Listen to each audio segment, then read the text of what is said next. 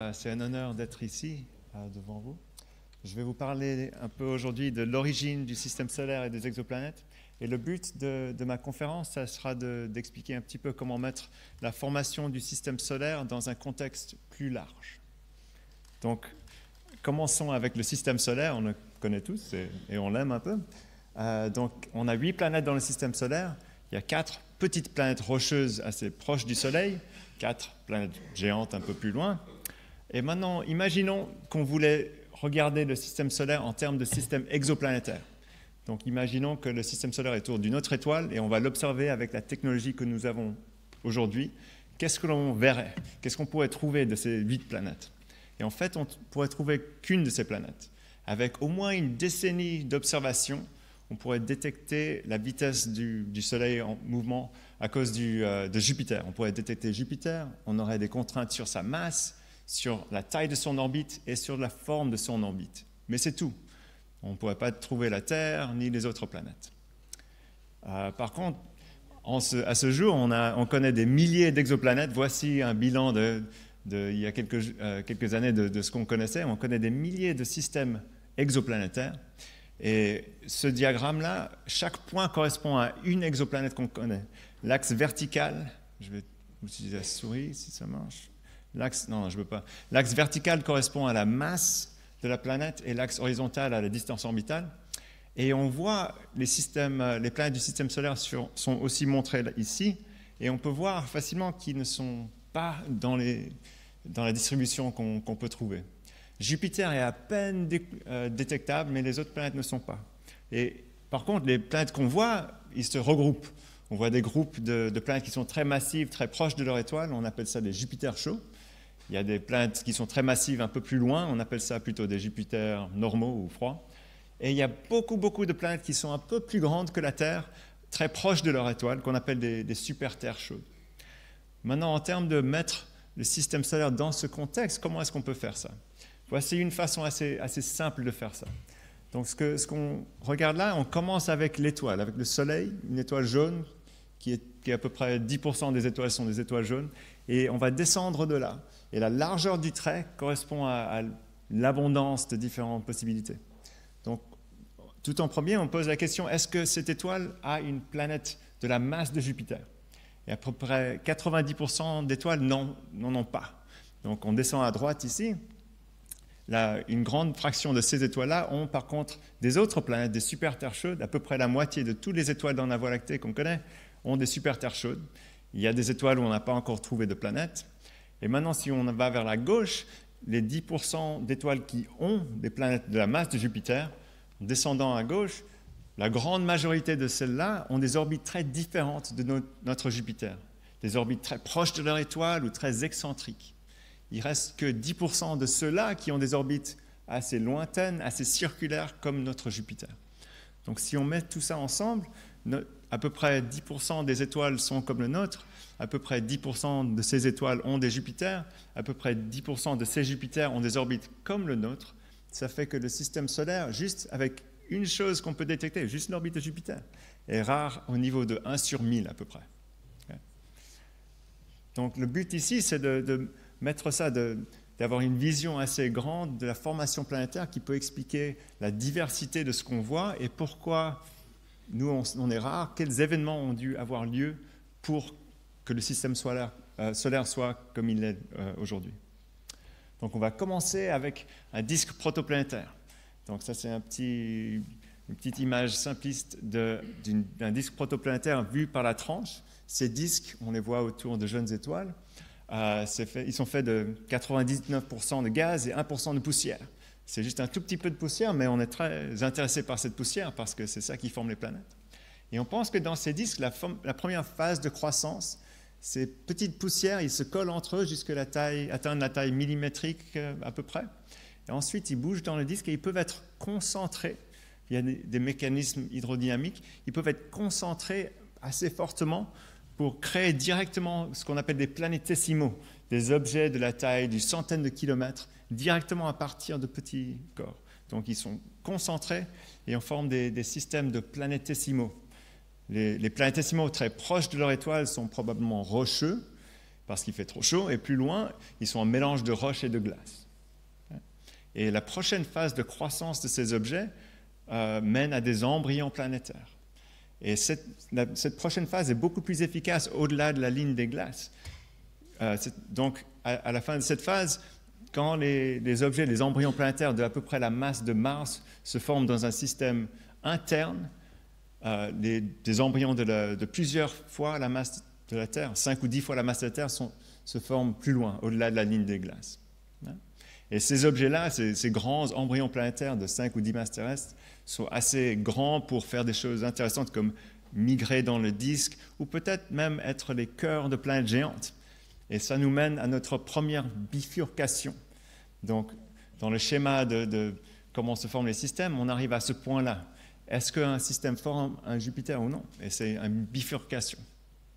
Et je vais proposer que les systèmes qui ne forment pas de Jupiter, la plupart de ceux-là formeraient au lieu des super-terres chaudes. Et je vais vous expliquer pourquoi.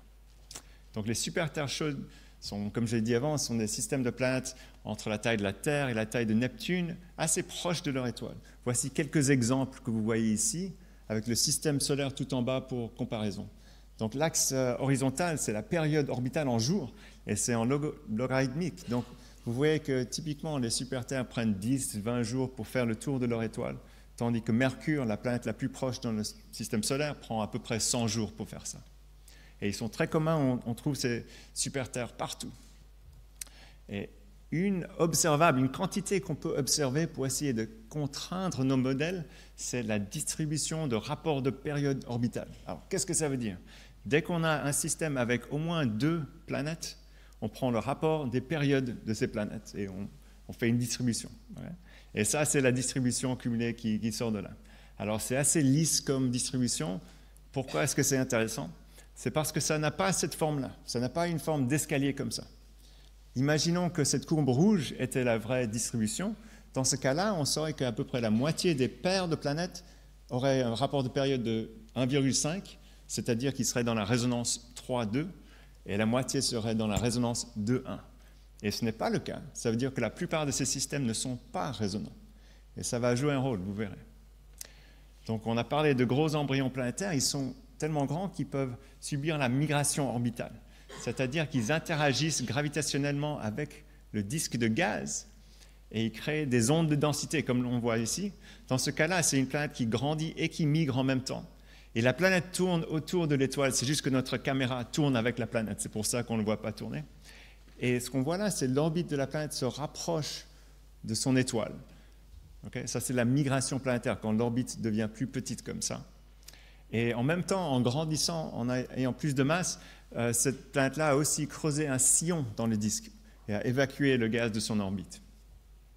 Et un dernier ingrédient avant de faire un modèle plus complet, c'est qu'on peut imaginer peut-être les planètes se forment et ils migrent et ils tombent sur l'étoile.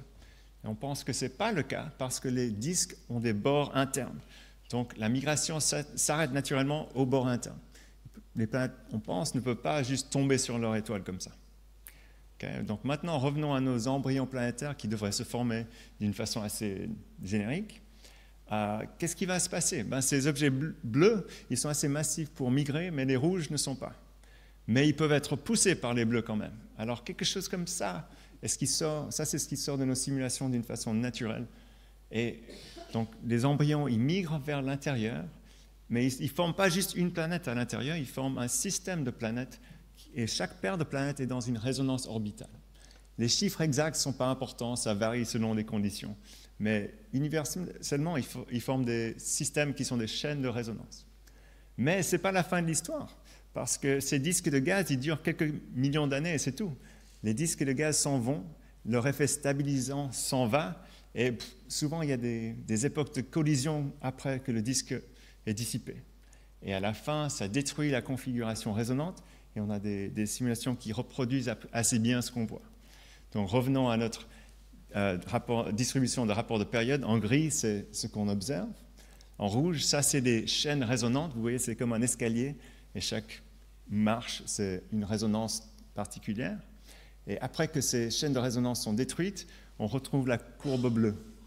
Donc à la fin, on pense, pour bien reproduire ce qu'on voit, Euh, ça marche le mieux quand nos simulations, quand à peu près 95% de ces chaînes résonantes sont détruites et 5% survivent à peu près. Et dans ces cas-là, on explique assez bien les choses.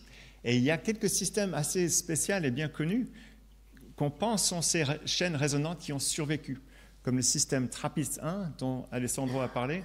C'est un système de sept planètes à peu près de la taille de la Terre autour d'une toute petite étoile, dont trois des planètes sont potentiellement dans la zone habitable. Euh, et ça fait une longue chaîne de résonance orbitale. Retournons ici à la même bifurcation, mais prenons le chemin de gauche au lieu.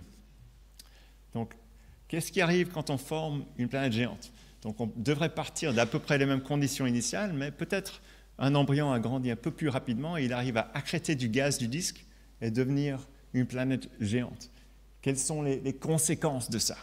Ben, Une conséquence assez importante et qui est assez directe, c'est que cette planète-là maintenant creuse un sillon dans le disque et ça empêche tous ses voisins de l'extérieur de migrer vers l'intérieur. Ça les, les, retient. Donc on peut imaginer que ça pourrait peut-être peut expliquer qu'il n'y a pas de super terre chaude dans certains systèmes comme le nôtre. continuons un peu plus loin dans ce chemin à la prochaine bifurcation qui va avoir avec des instabilités et la migration. Regardons un peu plus près les, les exoplanètes géantes qu'on connaît. voici les données en termes de l'axe vertical, c'est l'excentricité orbitale en fonction de la distance orbitale euh, pour un échantillon d'exoplanètes géantes qu'on connaît. Chaque point, c'est une planète. Ce qu'on voit, il y a beaucoup de planètes très proches de leur étoile. Ça, c'est des Jupiter chauds. Il y en a beaucoup parce qu'ils sont faciles à trouver. Ça, fait à peu près 1% des étoiles seulement qui ont un Jupiter chaud.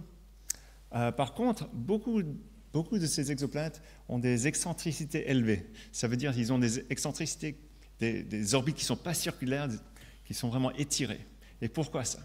Donc on pense que toutes les planètes se forment sur des orbites circulaires, mais après il y a deux processus qui expliquent ce diagramme.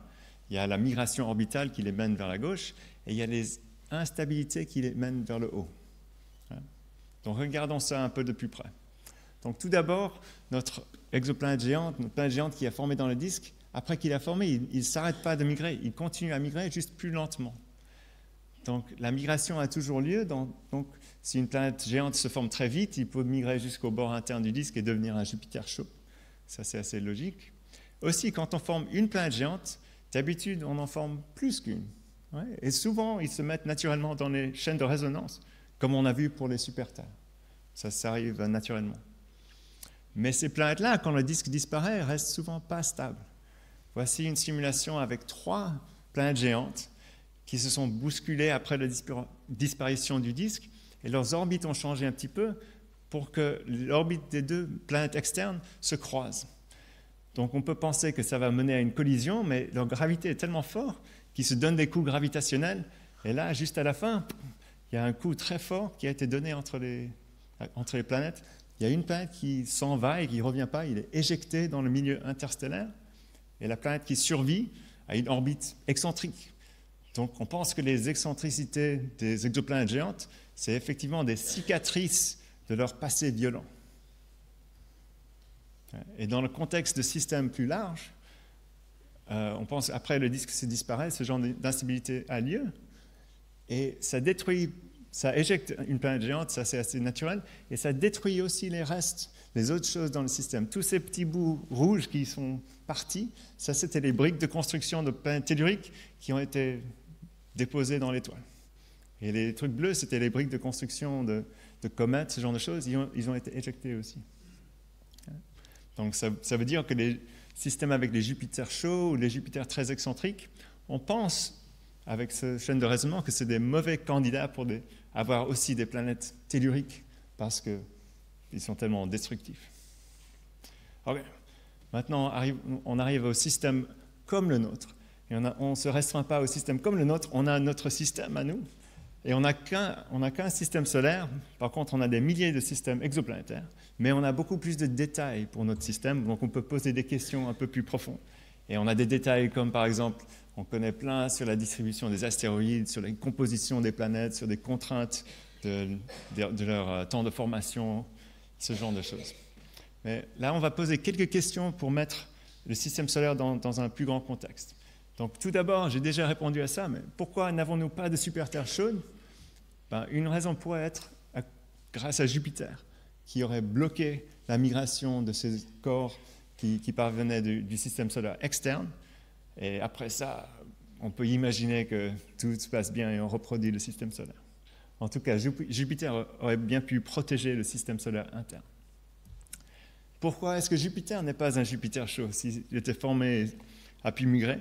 Eh bien, on pense là, c'est peut-être grâce à Saturne en fait. Jupiter tout seul dans un disque migre vers l'intérieur. Mais Jupiter et Saturne ensemble dans un disque, ils se mettent, leurs sillons dans le disque se rassemblent, comme on voit sur cette image à droite. Ça, c'est Jupiter et Saturne dans une simulation hydrodynamique de ce processus. Et quand Jupiter et Saturne sont ensemble, il y a un sillon en commun et la migration peut s'arrêter, peut même se renverser et aller vers l'extérieur. Et ça, ça marche seulement dans certains cas, mais ça peut bien marcher euh, dans le cas de Jupiter et Saturne. Donc c'est bien possible que c'est grâce à Saturne que nous n'avons pas un Jupiter chaud dans le système solaire, ce qui serait mauvais pour la Terre, bien sûr. pourquoi est-ce que Jupiter et Saturne ont des orbites presque circulaires quand la plupart des systèmes ont des, orbites qui sont vraiment pas circulaires? On pourrait penser que le système solaire a toujours été joli et stable, mais on est assez sûr que ce n'est pas le cas. On pense qu'il y a eu une instabilité dans le système solaire euh, qui a eu lieu ben, pas longtemps après sa formation, mais c'était juste une instabilité très faible par rapport aux instabilités parmi les exoplanètes.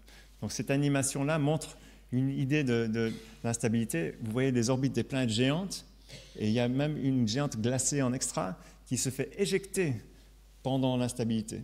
Et ce que vous voyez en vert, c'est des objets des, des comètes primordiales, effectivement. Donc on pense qu'on a vraiment eu une instabilité dans le système solaire, euh, jusqu'il n'était pas très fort. Et enfin, c'est la migration et les instabilités, même dans notre système, ont pu avoir des conséquences importantes. On peut poser la question, pourquoi est-ce que Mars est petit par rapport à la Terre? Ce que je veux dire par ça, c'est quand on fait des simulations de la formation des planètes rocheuses, souvent on crée des systèmes comme ça. Donc ça, ça a la gueule du système solaire, mais c'est pas. Donc vous voyez, Vénus et la Terre sont assez bien reproduits, mais Mars est beaucoup plus grand. C'est à peu près la même masse que la Terre. Pour de vrai, Mars est seulement un dixième de la masse de la Terre. Mais dans nos simulations, on crée des Mars qui sont beaucoup trop grands. Donc on a l'impression qu'il faut un mécanisme, que lors de la formation des planètes telluriques, quelque chose a eu lieu pour vider un petit peu, pour dépléter la région de formation de Mars et de la ceinture d'astéroïdes. Ce mécanisme pourrait avoir été la migration de Jupiter, ou peut-être même l'instabilité des planètes géantes. Donc ça, c'est des conséquences de ces processus sur les planètes telluriques. Donc si on met tout ça ensemble, euh, avec ces, bifurcations, on peut essayer de comprendre pourquoi le système solaire est comme il est. Si dans les systèmes qui ne forment pas de Jupiter, il devrait y avoir beaucoup de super terres chaudes. Quand on forme des planètes géantes, il y a souvent des instabilités violentes. Notre système solaire a évité trop de migration et a évité d'avoir trop d'instabilité trop forte, ce qui est bien. Donc ça, c'est comment on mettrait le système solaire en contexte pour continuer dans, ce, dans, ce, dans ces recherches. On a quelques questions qui nous échappent toujours. On veut savoir la structure des disques protoplanétaires, parce que ça, ça contrôle la formation et aussi euh, la migration. On veut savoir la composition des super-terres. On aimerait savoir s'il y a une corrélation entre les exoplanètes géantes comme Jupiter et les super-terres, parce qu'on prédirait naturellement qu'il devrait y avoir une anticorrélation. Et bien sûr, quelles sont les conditions nécessaires pour la formation d'une exotère Et tout en dernier, je voulais juste mentionner qu'un lien entre les exoplanètes et le système solaire a été découvert pour la première fois l'an dernier. Il s'agit d'un objet qui s'appelle Oumuamua. C'est le premier objet interstellaire qui a passé à travers le système solaire. Donc c'est un lien direct entre le système solaire et les systèmes exoplanétaires. Donc je vais m'arrêter là. Je compte remercier l'ANR, le CNRS et, mon labo, le laboratoire d'astrophysique de Bordeaux. merci beaucoup.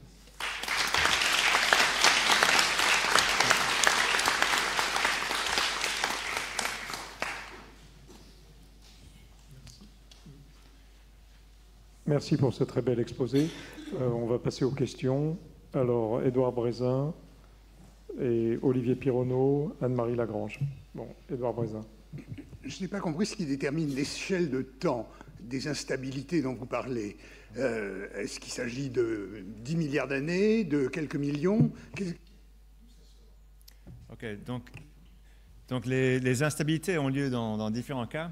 Les instabilités dont je parlais, par exemple entre les super-terres chaudes, entre les planètes géantes, la seule chose qui est très naturelle pour déclencher ces instabilités, ah, euh, pour déclencher ces instabilités, c'est la disparition du disque de gaz.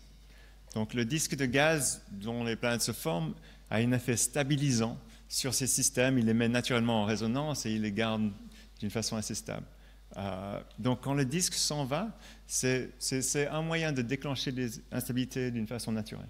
Donc dans les simulations qu'on a faites, d'habitude, en moins de quelques millions d'années, ce qui est très court dans ces échelles-là, euh, il y a les instabilités qui se passent. C'est possible à, travers le chaos d'avoir des instabilités tardives, mais c'est rare. Moi, j'ai une question sur le. Euh, là derrière vous. Ah. J'ai une question justement sur le fait que certains de vos systèmes sont chaotiques. Donc, comment vous faites des simulations de systèmes chaotiques? Ben, C'est une bonne question. Le, chaos sort naturellement de ces systèmes. Donc, les systèmes de simulations de, formation créent naturellement des systèmes qui sont marginalement stables. Ça crée pas, il n'y a pas de raison que ça crée des systèmes qui sont stables pour 100 milliards d'années. Ça crée naturellement des systèmes qui, ont, qui sont stables au moins pour leur durée de vie. Et ça a été bien démontré que le système solaire est chaotique, par exemple, mais les systèmes qui sortent de ces simulations aussi, ils sont chaotiques sur une échelle de temps qui est juste plus longue que la durée de la simulation. Ça sort naturellement. Rarement, on a des systèmes qui sont super stables, mais plus souvent, ils sont chaotiques et marginalement stables. Anne-Marie Lagrange. Euh, j'avais euh, une remarque et une question. Euh, quand tu dis 10% des, des, étoiles de, type FGK ont des Jupiters, à mon avis, ça n'est qu'une limite inférieure parce que comme tu l'as montré, on n'est pas capable aujourd'hui, ou très mal capable, de, détecter des Jupiters ou des planètes géantes extérieures. Donc je ne serais pas surprise que la, fraction soit plus grande. Donc c'est une bonne, une bonne remarque. Les, les surveys de ça sont complets jusqu'à quelques unités astronomiques. Et pour aller au-delà, il y a des gens qui essaient d'utiliser des, des, trends dans les données de vitesse radiale, mais c'est assez incertain. Donc donc oui, je suis d'accord, ce n'est pas, pas très certain jusqu'au-delà de, l'orbite de Jupiter. Et la question après, c'était, euh, tu as montré dans le cas du système solaire, tu as dit euh, que Jupiter finalement n'avait pas migré peut-être euh, grâce à Saturne. Donc est-ce que tu pourrais prédire en gros que dans les systèmes, quand on va découvrir des, systèmes, des, planètes géantes externes, on va les trouver en, binaire ou en... Enfin, on ne les trouvera pas seuls Ou c'est aller trop loin dans l'extrapolation Ça, c'est un truc qu'on comprend toujours pas bien, c'est que de comment former des planètes qui sont assez loin de leur étoile pour éviter la migration à longue distance. Donc Saturne, c'est une façon naturelle de ça. Ça peut éviter la migration à l'intérieur, ça peut même migrer vers l'extérieur. Je me souviens qu'Aurélien Crédia avait, avait regardé ça, des systèmes exoplanétaires qui ont les bonnes rapports, des bons rapports de masse pour qu'ils pourraient migrer vers l'extérieur et on n'en trouve pas comme ça qui sont très proches de leur étoile. Mais est-ce que c'est le seul moyen de faire ça? On ne sait pas encore. C'est une bonne idée, mais on ne sait pas encore. Euh, donc euh, Daniel Rouen, puis euh, Jacques Blamont. il y a quelques années, il me semble qu'on disait qu'il y avait une grosse difficulté pour la formation des planétésimaux dans justement tous ces, modèles numériques et théoriques. Où est-ce qu'on en est? Est-ce que c'est déjà un peu, un peu aplani? C'est très courant comme, euh, chose d'étudier la formation des planétésimaux, les, les premières phases de, croissance. Donc il y, a la, phase où les, grains de, poussière se rassemblent collisionnellement et ils driftent dans le disque. Et ensuite, si les conditions sont bonnes, ça peut déclencher une instabilité comme le, streaming instability pour créer des planétésimaux. Donc il y a des modèles maintenant qui, montrent, qui, ont casé les conditions nécessaires pour ces instabilités qui créent, qui créent vraiment les planétésimaux. Il y a des modèles à plus grande échelle où il y a un disque qui évolue et qui démontre que les planétésimaux se forment ici à ce temps-là et là-bas à ce temps-là, mais il n'y a pas vraiment un consensus de, une très bonne compréhension de ça. Donc c'est un champ d'études qui, bouge beaucoup, mais, mais ça avance beaucoup aussi. Jacques Blamont. Qu'est-ce que vous pensez de la loi de Bode Ok, on me, pose souvent cette question. Donc la loi de Titus-Bode, c'est qu'il y a une fonction simple pour déterminer l'espacement des, planètes. Donc à mon avis, d'avoir une fonction très simple qui est universelle, ça, ça marche vaguement, mais ça ne marche pas vraiment. Il n'y a pas une raison pour ça. Et si on déconstruit ce qu'il y a dans cette loi, qui est intéressant et qui s'applique, c'est que dans cette loi, les, les planètes sont espacées d'une façon logarithmique. Et normalement, dans nos systèmes qu'on trouve, euh, les, études de stabilité et les, simulations de formation, trouvent que les planètes sont espacées d'une façon logarithmique, d'une façon naturelle, parce que ou bien ils sont espacés par un certain rapport de période moyenne, par, exemple avec des résonances, ou ils se sont espacés par euh, des critères de stabilité qui ont aussi une tendance logarithmique. Donc pour moi, la tendance logarithmique, c'est c'est fondé dans la science, et d'avoir une fonction qui marche pour tout, j'y crois pas. Une, dernière question de ma part.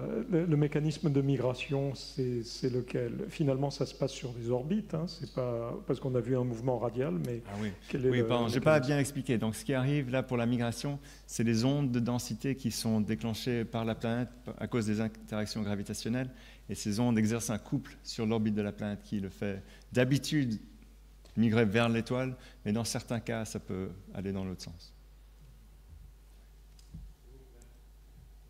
Oui, allez-y. Oui, euh, Jean-Pierre Martin de la SAF.